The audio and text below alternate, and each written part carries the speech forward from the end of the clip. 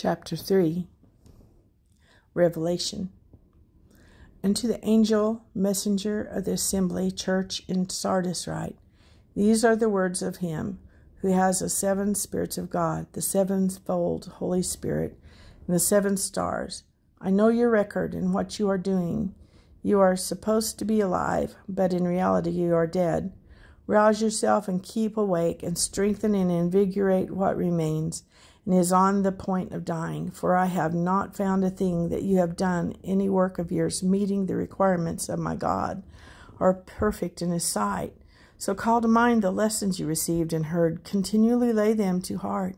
Obey them and repent in case you will not rouse yourselves and keep awake and watch. I will come upon you like a thief, and you will not know or suspect at all what hour I come. Yet you still have a few persons, names in Sardis, who have not soiled their clothes. They shall walk with me in white.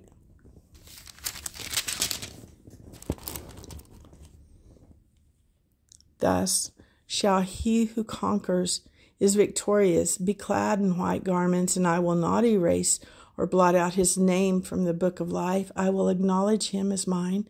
I will confess him his name openly before my Father and before his angels. He who is able to hear, let him listen to and heed what the Holy Spirit says to the assemblies, the churches. And the angel messenger of the assembly church in Philadelphia write, These are the words of the Holy One, the true one, he who has the king of David, who opens and no one shall shut, who shuts and no one shall open. I know your record of works and what you are doing. See, I've set before you a door wide open, which no one is able to shut. I know that you have but little power, and yet you have kept my word and guarded my message and have not renounced or denied my name. Take note, I will make those of the synagogue of Satan who say they are Jews and are not, but lie. Behold, I will make them come and bow down before your feet and learn and acknowledge that I have loved you. Behold, you have guarded and kept my word of patient endurance, have held fast the lesson of my patience and the expect, expectant endurance that I give you. I will also keep you safe from the hour of trial, testing which is coming on the whole earth, whole world, to try those who dwell upon the earth. I'm coming quickly. Hold fast what you have so that no one may rob you and deprive you of your crown. He who overcomes is victorious. I will make him a pillar in the sanctuary of my God. He shall never be put out of it or go out of it.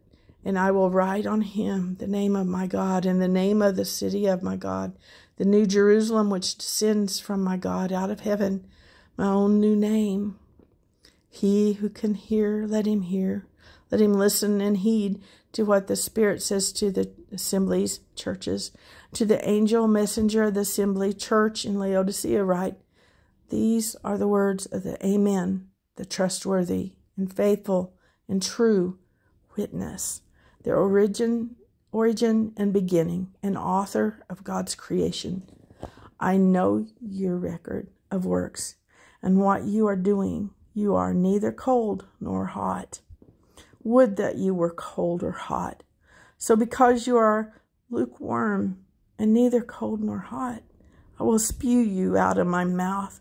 For you say, I'm rich. I have no, I have prospered and have grown wealthy, and I am in need of nothing. And you do not realize and understand that you are wretched, pitiful, poor, blind, and naked.